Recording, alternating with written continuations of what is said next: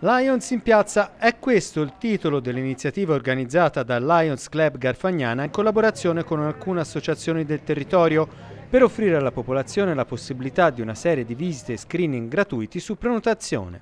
La manifestazione, che ogni anno ottiene molti consensi, quest'anno si è svolta a Fornoli di Bagni di Lucca, in campo una vera task force di medici e specialisti in cardiologia, ECD vascolare, ortopedia, dermatologia, prova udito, posturologia e molti esami che riguardano le varie forme di diabete. Anche in questa occasione abbiamo circa 300 prenotazioni e considerato che siamo in epoca Covid anche la gestione non è delle più facili ma noi stiamo portando avanti queste, questo service e queste visite rispettando rigorosamente il protocollo anti-Covid per garantire ovviamente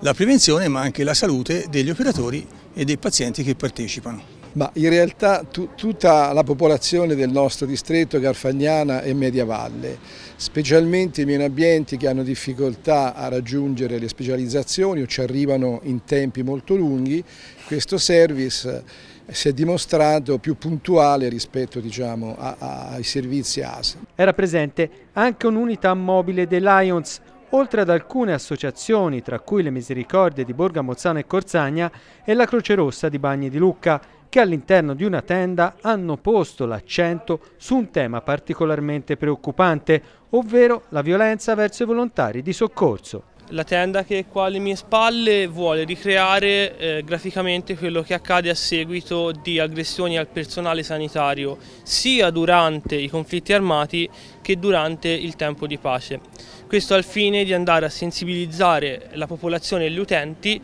sul tema delle aggressioni al personale sanitario della campagna di Croce Rossa denominata Healthcare in Danger e non sono un bersaglio che stiamo portando avanti come Croce Rossa italiana e come Croce Rossa internazionale.